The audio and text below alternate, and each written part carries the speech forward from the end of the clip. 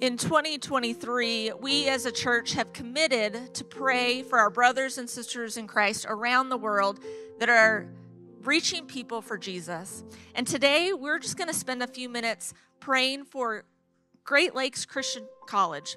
They are located in Lansing, Michigan, and their purpose is to educate men and women for paid and volunteer ministry roles in the church, as well as careers in the public sector. They want to equip men and women to go out, no matter where they're working, and reach people for Jesus, to make a difference in the roles that they are, have been given. And so, will you join me in praying for this college as they are doing this amazing work?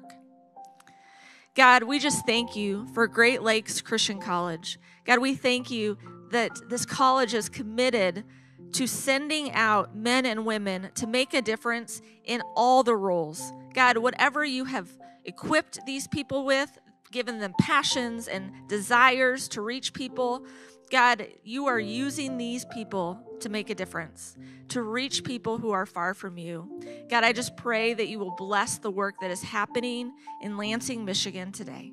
Amen. As part of our worship, we also have the opportunity to participate in a time of giving. Proverbs 3 9 says, Honor the Lord with your wealth and with the best part of everything you produce. God wants our best. You know, it's pretty easy to give once you've paid all the bills, once you've done all the things with your money you need to do, but it's a lot harder to trust God with your first. God doesn't care about our money, that's not what it's about. He knows that so often our money is tied to our hearts. And so he's saying, Give me your best. Don't give me what's left over. Don't give me if you can. Trust me with your best and watch me work. So, today, as we participate in a time of giving, I just encourage you to trust God with your best, to give God your best, not your leftovers, but your best. Will you pray with me?